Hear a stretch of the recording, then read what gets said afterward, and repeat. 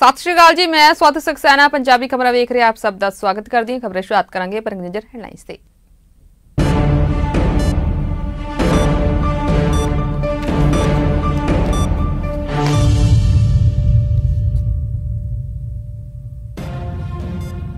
ਜੰਮੂ ਕਸ਼ਮੀਰ ਦੇ ਸ਼ੋਪਿਆਂ ਵਿੱਚ ਸੁਰੱਖਿਆ ਦਸਤਿਆਂ ਨੂੰ ਮਿਲੀ ਵੱਡੀ ਸਫਲਤਾ। ਮੁਕਾਬਲੇ ਦੌਰਾਨ ਚਾਰ ਅਤਵਾਦੀ ਢੇਰ ਸਰਚ ਆਪਰੇਸ਼ਨ ਜਾਰੀ।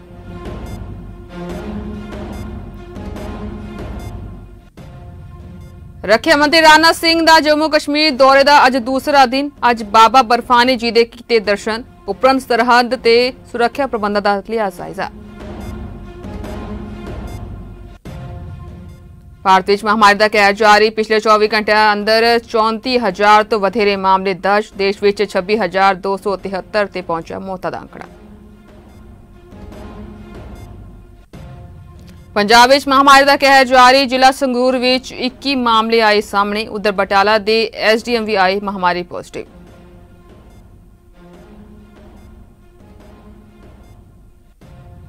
ਪੰਜਾਬ ਕੈਬਨਿਟ ਦੀ ਸਬ ਕਮੇਟੀ ਦੀ ਬੈਠਕ ਅੱਜ ਦੁਪਹਿਰ 3 ਵਜੇ ਹੋਵੇਗੀ ਬੈਠਕ। ਬੈਠਕ ਵਿੱਚ ਮਿਊਨਿਸਪਲ ਚੋਣਾਂ ਸੰਬੰਧੀ ਲਏ ਜਾਣਗੇ ਕਈ ਅਹਿਮ ਫੈਸਲੇ।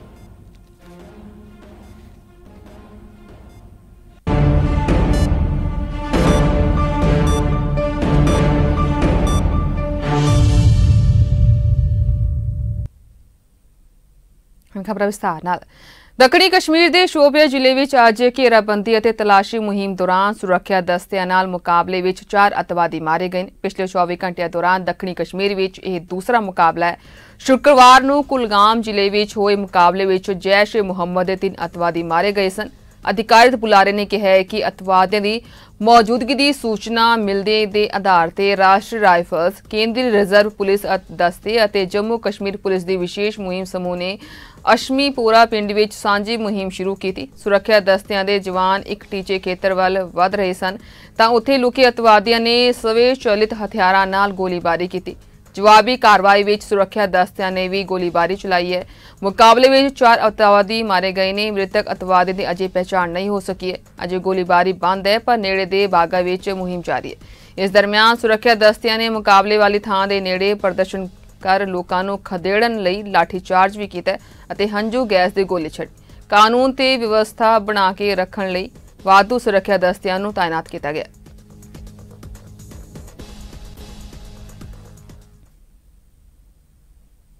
ਚੀਨ ਨਾਲ ਜਾਰੀ ਸਰਹੱਦੀ ਵਿਵਾਦ ਦਰਮਿਆਨ ਰੱਖਿਆ ਮੰਤਰੀ ਰਾਜਨਾਥ ਸਿੰਘ ਲੇਹ ਲਦਾਖ ਦੇ ਦੌਰੇ ਤੇ ਨੇ। ਕੱਲ ਫੌਜੀਆਂ ਜਵਾਨਾਂ ਦੀ ਹੌਸਲਾ ਅਫਜਾਈ ਮਗਰੋਂ ਰਾਣਾ ਸਿੰਘ ਅੱਜ ਜੰਮੂ ਕਸ਼ਮੀਰ ਦੇ ਦੌਰੇ ਤੇ ਨੇ।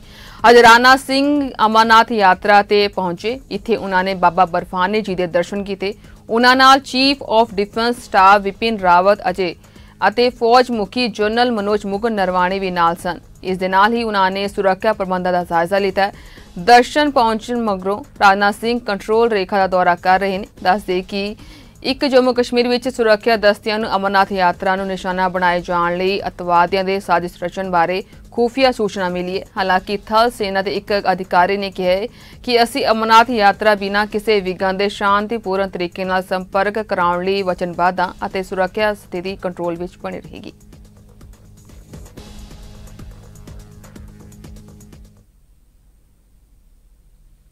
ਹੁਣ ਵਾਦੇ ਅਗਲੀ ਖਬਰ ਵੱਲ। ਮਹਾਮਾਰੀ ਭਾਰਤ ਵਿੱਚ ਦਿਨੋ ਦਿਨ ਰਫ਼ਤਾਰ ਫੜਦੀ ਹੀ ਜਾ ਰਹੀ ਹੈ। ਸਿਹਤ ਮੰਤਰਾਲੇ ਵੱਲੋਂ ਅੱਜ ਜਾਰੀ ਅੰਕੜਿਆਂ ਮੁਤਾਬਕ ਪਿਛਲੇ 24 ਘੰਟਿਆਂ ਅੰਦਰ ਭਾਰਤ ਵਿੱਚ 34884 ਨਵੇਂ ਮਾਮਲੇ ਦਰਜ ਕੀਤੇ ਗਏ ਨੇ ਅਤੇ 671 ਮੌਤਾਂ ਹੋਈਆਂ ਨੇ। ਵੱਧ ਰਹੇ ਪੀੜਿਤ ਮਾਮਲਿਆਂ ਦੀ ਗਿਣਤੀ ਕਾਰਨ ਦੇਸ਼ ਵਿੱਚ ਪੋਜ਼ਿਟਿਵ ਕੇਸਾਂ ਦੀ ਗਿਣਤੀ 1038716 ਤੇ ਪਹੁੰਚ ਚੁੱਕੀ ਹੈ। ਰਾਹਤ ਦੀ ਖਬਰ ਇਹ ਵੀ ਹੈ ਕਿ ਜਿਵੇਂ ਜਿਵੇਂ ਮਾਮਲੇ ਵੱਧ ਰਹੇ ਨੇ, ਠੀਕ ਹੋਣ ਵਾਲੇ ਦੀ ਗਿਣਤੀ ਵੀ ਵੱਧ ਰਹੀ ਹੈ। ਹੁਣ 653751 ਲੋਕ ਠੀਕ ਹੋ ਚੁੱਕੇ ਨੇ ਅਤੇ ਉਹਨਾਂ ਨੂੰ ਹਸਪਤਾਲਾਂ ਵਿੱਚ ਛੁੱਟੀ ਮਿਲ ਚੁੱਕੀ ਹੈ। ਇਸੇ ਤਰ੍ਹਾਂ ਹੁਣ ਤੱਕ ਮਹਾਮਾਰੀ ਕਾਰਨ ਮੌਤਾਂ ਦਾ ਅੰਕੜਾ 26273 ਤੇ ਪਹੁੰਚ ਚੁੱਕਿਆ ਹੈ।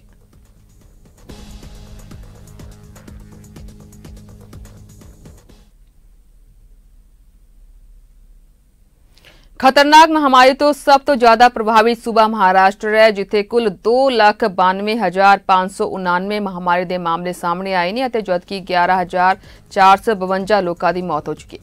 ਦੂਸਰੇ ਨੰਬਰ ਤੇ ਤਾਮਿਲਨਾਡੂ ਬਣਿਆ ਹੋਇਆ ਹੈ, ਜਿੱਥੇ 160907 ਮਾਮਲੇ ਸਾਹਮਣੇ ਆਏ ਅਤੇ 2315 ਲੋਕਾਂ ਦੀ ਮੌਤ ਹੋ ਚੁੱਕੀ ਹੈ। ਇਸੇ ਤਰ੍ਹਾਂ ਦਿੱਲੀ ਵਿੱਚ ਵੀ ਕੁੱਲ 120107 ਮਾਮਲੇ ਸਾਹਮਣੇ ਆਏ ਨੇ ਅਤੇ ਵਾਇਰਸ ਕਾਰਨ 3517 ਮੌਤਾਂ ਹੋਈਆਂ ਨੇ। ਇਸ ਦਰਮਿਆਨ ਭਾਰਤੀ ਮੈਡੀਕਲ ਖੋਜ ਪਰਿਸ਼ਦ ਨੇ ਕਿਹਾ ਹੈ ਕਿ ਮਹਾਮਾਰੀ ਦੇ ਨਮੂਨਿਆਂ ਦੀ ਜਾਂਚ ਵਿੱਚ ਤੇਜ਼ੀ ਆਈ ਹੈ। 17 ਜੁਲਾਈ ਤੱਕ 1 ਕਰੋੜ 34 ਲੱਖ 33742 ਨਮੂਨਿਆਂ ਦੀ ਜਾਂਚ ਕੀਤੀ ਗਈ, ਜਿਨ੍ਹਾਂ ਵਿੱਚੋਂ 3 ਲੱਖ 61024 ਨਮੂਨੇ ਦੀ ਕੱਲ ਜਾਂਚ ਕੀਤੀ ਗਈ ਸੀ।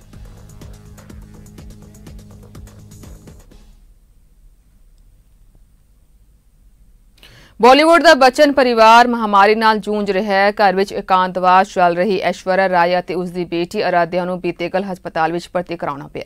ਐਸ਼ਵਰਿਆ ਤੇ ਅਰਾਧਿਆ ਦੀ ਹੁਣ ਸਿਹਤ ਹੁਣ ਪਹਿਲਾਂ ਨਾਲੋਂ ਬਿਹਤਰ ਦੱਸੀ ਜਾ ਰਹੀ ਹੈ। ਡਾਕਟਰਾਂ ਦਾ ਕਹਿਣਾ ਹੈ ਕਿ ਇਹਨਾਂ ਦੀ ਸਿਹਤ ਵਿੱਚ ਸੁਧਾਰ ਹੋ ਰਿਹਾ ਹੈ।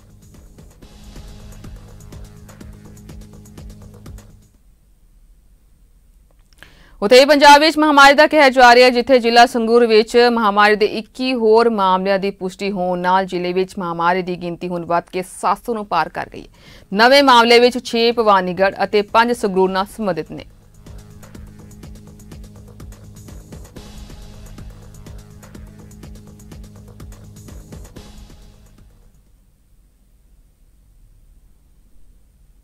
ਉਧਰ ਜ਼ਿਲ੍ਹਾ ਗੁਰਦਾਸਪੁਰ ਦੇ ਵਧੀਕ deputy commissioner TP Singh Sandhu ਦੀ ਰਿਪੋਰਟ ਮਹਾਮਾਰੀ ਪੋਜ਼ਿਟਿਵ ਆਉਣ ਤੋਂ ਬਾਅਦ ਬਟਾਲਾ ਦੇ ਐਸਡੀਐਮ ਬਲਵਿੰਦਰ ਸਿੰਘ ਦੀ ਵੀ ਰਿਪੋਰਟ ਪੋਜ਼ਿਟਿਵ ਪਾਈ ਗਈ ਹੈ।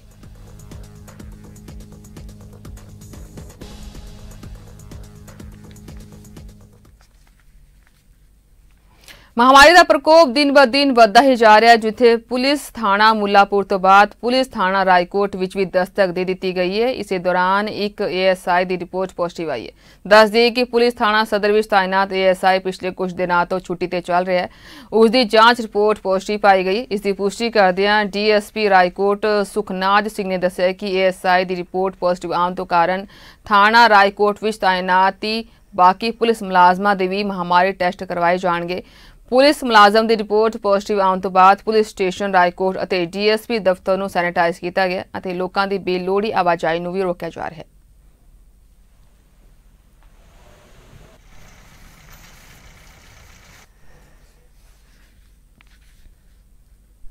ਹਨਵਾਦੇ ਅਗਲੀ ਖਬਰ ਵੱਲ।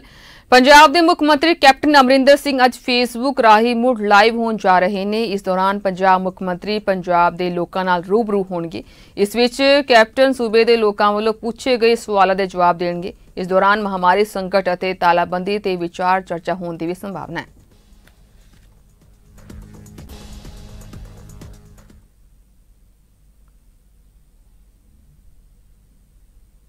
ਉਧਰ ਅੱਜ ਪੰਜਾਬ ਕੈਬਨਿਟ ਦੀ ਸਬ ਕਮੇਟੀ ਦੀ ਬੈਠਕ ਹੋਣ ਜਾ ਰਹੀ ਹੈ। ਇਸ ਬੈਠਕ ਵਿੱਚ ਮਿਊਨਿਸਪਲ ਚੋਣਾਂ ਸੰਬੰਧੀ ਕਈ ਅਹਿਮ ਫੈਸਲੇ ਲਏ ਜਾ ਸਕਦੇ ਨੇ। ਇਸ ਬੈਠਕ ਵਿੱਚ ਕੈਪਟਨ ਅਮਰਿੰਦਰ ਸਿੰਘ ਸਮੇਤ ਕਈ ਮੰਤਰੀ ਸ਼ਾਮਿਲ ਹੋਣਗੇ। ਦੱਸ ਦਈਏ ਕਿ ਇਹ ਬੈਠਕ ਦੁਪਹਿਰ 3 ਵਜੇ ਹੋਣ ਜਾ ਰਹੀ ਹੈ।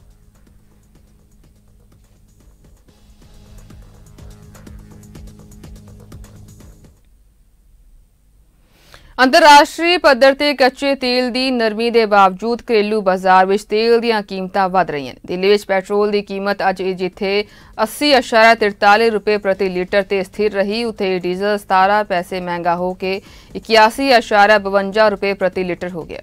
ਦਿੱਲੀ ਵਿੱਚ ਡੀਜ਼ਲ ਦੀ ਤਾਜ਼ਾ ਕੀਮਤ ਇੱਕ ਸਰਬੋਤਮ ਰਿਕਾਰਡ ਪੱਧਰ ਉਤੇ ਹੈ। ਦੱਸਦੇ ਕਿ ਪੈਟਰੋਲ ਅਤੇ ਡੀਜ਼ਲ ਦੀਆਂ ਕੀਮਤਾਂ ਹਰ ਰੋਜ਼ ਸਵੇਰੇ 6 ਵਜੇ ਬਦਲਦੀਆਂ ਨੇ। ਨਵੇਂ ਰੇਟ ਸਵੇਰੇ 6 ਵਜੇ ਤੋਂ ਲਾਗੂ ਹੋ ਚੁੱਕੇ ਨੇ। ਐਕਸਾਈਜ਼ ਡਿਊਟੀ ਡੀਜ਼ਲ ਕਮਿਸ਼ਨ ਅਤੇ ਹੋਰ ਚੀਜ਼ਾਂ ਨੂੰ ਪੈਟਰੋਲ ਅਤੇ ਡੀਜ਼ਲ ਦੀ ਕੀਮਤ ਵਿੱਚ ਸ਼ਾਮਿਲ ਕਰਨ ਤੋਂ ਬਾਅਦ ਇਸ ਦੀ ਕੀਮਤ ਲਗਭਗ ਦੁੱਗਣੀ ਹੋ ਜਾਂਦੀ ਹੈ।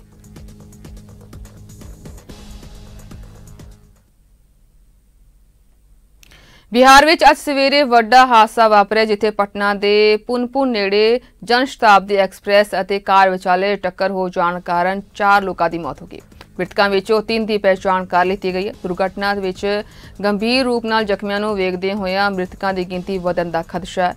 ਗੰਭੀਰ ਤੌਰ ਤੇ ਜ਼ਖਮੀ ਚਾਰ ਲੋਕਾਂ ਨੂੰ ਇਲਾਜ ਲਈ ਪਟਨਾ ਮੈਡੀਕਲ ਕਾਲਜ ਅਤੇ ਹਸਪਤਾਲ ਦਾਖਲ ਕਰਵਾਇਆ ਗਿਆ।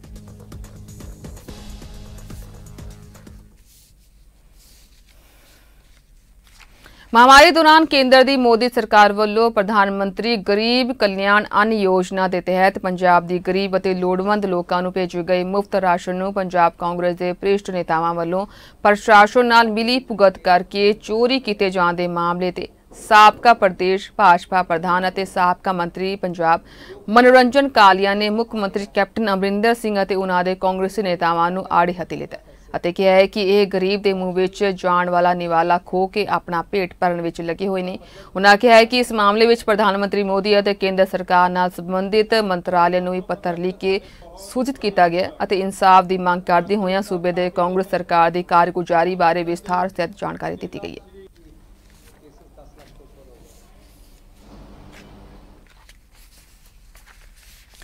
ਪਟਿਆਲਾ ਦੇ ਮੋਦੀ ਕਾਲਜ ਕੋਲ ਇੱਕ ਮੁੜੀ ਤੇ ਮੋਬਾਈਲ ਫੋਨ ਨੇ, ਯਾਨੀ ਕਿ ਕੁੜੀ ਨੇ ਮੋਬਾਈਲ ਫੋਨ ਦੀ ਦੁਕਾਨ ਤੇ ਡਰਾਮਾ ਕੀਤਾ ਅਤੇ ਦੁਕਾਨਦਾਰ ਦੇ ਸ਼ੀਸ਼ੇ ਤੱਕ ਭੰਨ ਦਿੱਤੇ ਨੇ। ਦੱਸਿਆ ਜਾ ਰਿਹਾ ਹੈ ਕਿ ਕੁੜੀ ਨਸ਼ੇ ਦੀ ਹਾਲਤ ਵਿੱਚ ਸੀ। ਇਸ ਪੂਰੇ ਘਟਨਾਕ੍ਰਮ ਦੀ ਵੀਡੀਓ ਸੀਸੀਟੀਵੀ ਕੈਮਰੇ ਵਿੱਚ ਕੈਦ ਹੋ ਗਈ ਉੱਤੇ ਪੁਲਿਸ ਮਾਮਲੇ ਜਾਂਚ ਵਿੱਚ ਜੁਟ ਗਈ ਹੈ।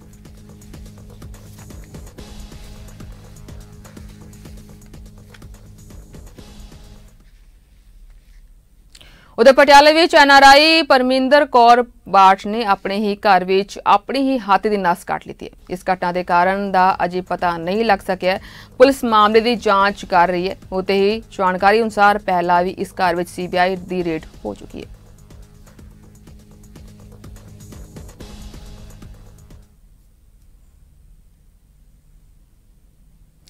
ਰੋਜ਼ਗਾਰ ਅਤੇ ਸੁਨਹਿਰੀ ਭਵਿੱਖ ਦੀ ਭਾਲ ਲਈ ਵਿਦੇਸ਼ਾਂ ਵਿੱਚ ਪੰਜਾਬ ਦੇ ਨੌਜਵਾਨ ਉਥੇ ਨਰਕ ਭਰੀ ਜ਼ਿੰਦਗੀ ਜਿਉਣ ਲਈ ਮਜਬੂਰ ਸਨ। ਅਜਿਹੇ ਕਈ ਨੌਜਵਾਨਾਂ ਦੀ ਵਤਨ ਵਾਪਸੀ ਕੇਂਦਰੀ ਮੰਤਰੀ ਹਰਸਿਮਰਤ ਕੌਰ ਬਾਦਲ ਦੇ ਯਤਨਾਂ ਸਦਕਾ ਹੋਈ ਹੈ। ਪੰਜਾਬ ਪ੍ਰਤੀ ਇਹਨਾਂ ਨੌਜਵਾਨਾਂ ਵਿੱਚ ਸ਼ਾਮਿਲ ਰਾਏਕੋਟ ਇਲਾਕੇ ਦੇ ਪਿੰਡ ਸੁਖਾਣਾ ਦਾ ਨੌਜਵਾਨ ਜਗਪ੍ਰੀਤ ਸਿੰਘ ਅਤੇ ਪਿੰਡ ਰਾਮਗੜ੍ਹ ਸੀਵੀਆਂ ਦਾ ਨੌਜਵਾਨ ਦਿਲਜੋਤ ਸਿੰਘ ਵੀ ਆਪੋ ਆਪਣੇ ਪਿੰਡ ਪਰਤ ਆਏ ਨੇ।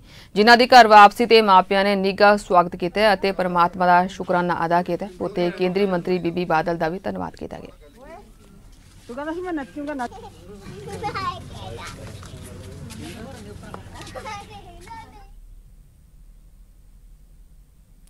ਜਲੰਧਰ ਦੇ ਸ਼ਹਿਰ ਦੇ ਜਵਾਲਾ ਨਗਰ ਵਿੱਚ ਦੇਰ ਰਾਤ ਅਣਪਛਾਤੇ ਲੋਕ ਇੱਕ ਨੌਜਵਾਨ ਦਾ ਕਤਲ ਕਰਕੇ ਉਸ ਦੀ ਲਾਸ਼ ਨੂੰ ਕੰਬਲ ਵਿੱਚ ਲਪੇਟ ਕੇ ਫਰਾਰ ਹੋ ਗਏ।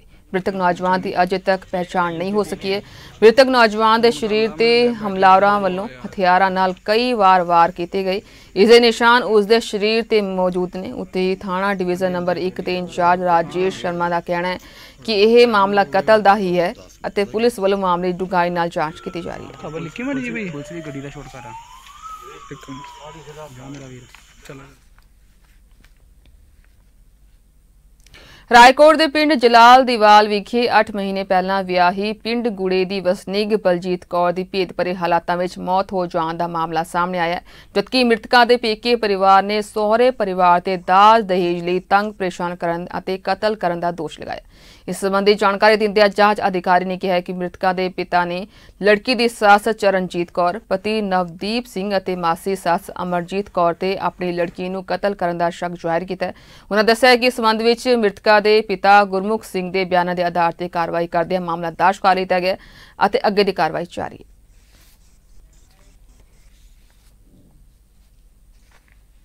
ਜਿੱਤੇ ਪੱਟੀ ਤੇ ਇਲਾਕਾ ਨਿਵਾਸੀਆਂ ਦੇ ਲਈ ਸ੍ਰੀ ਗੁਰੂ ਨਾਨਕ ਮੋਦੀ ਖਾਨਾ ਵਰਦਾਨ ਸਾਬਿਤ ਹੋ ਰਿਹਾ ਹੈ, ਉੱਥੇ ਕੈਮਿਸਟਾਂ ਤੇ ਭਾਅ ਰੁਪਏ ਦਾ ਨਜ਼ਰ ਆ ਰਿਹਾ ਹੈ। ਮੋਦੀ ਖਾਨੇ ਦੀ ਲਾਗਤ ਵੱਧ ਦੇਖ ਕੇ ਕੈਮਿਸਟਾਂ ਨੇ ਮੋਦੀ ਖਾਨੇ ਦੀ ਸਪਲਾਈ ਬੰਦ ਕਰਵਾ ਦਿੱਤੀ। ਜਿਸ ਕਾਰਨ ਮਰੀਜ਼ਾਂ ਨੂੰ ਬਹੁਤ ਹੀ ਤੰਗੀ ਦਾ ਸਾਹਮਣਾ ਕਰਨਾ ਪੈ ਰਿਹਾ ਹੈ।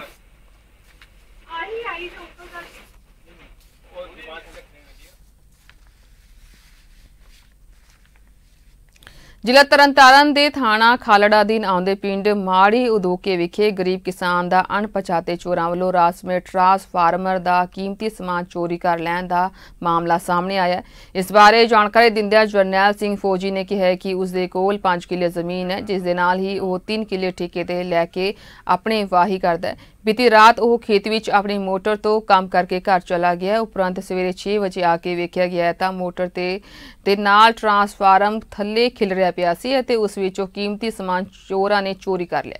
ਪੀੜਤ ਕਿਸਾਨ ਨੇ ਥਾਣੇ ਖਾਲੜੇ ਵਿੱਚ ਦਰਖਾਸਤ ਦੇ ਕੇ ਅਣਪਛਾਤੇ ਚੋਰਾਂ ਖਿਲਾਫ ਕਾਰਵਾਈ ਦੀ ਮੰਗ ਕੀਤੀ ਹੈ।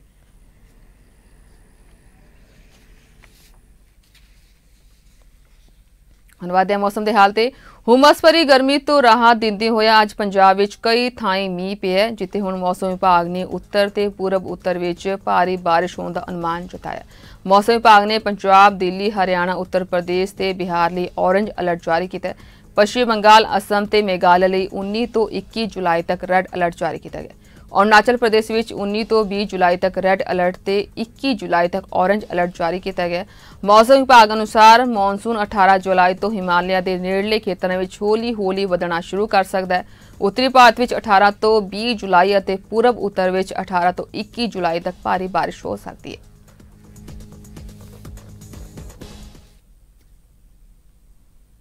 ਸੋ, ਇਸ ਦਾ ਸਮੇਂ ਆ ਗਿਆ। ਧੰਨਵਾਦ।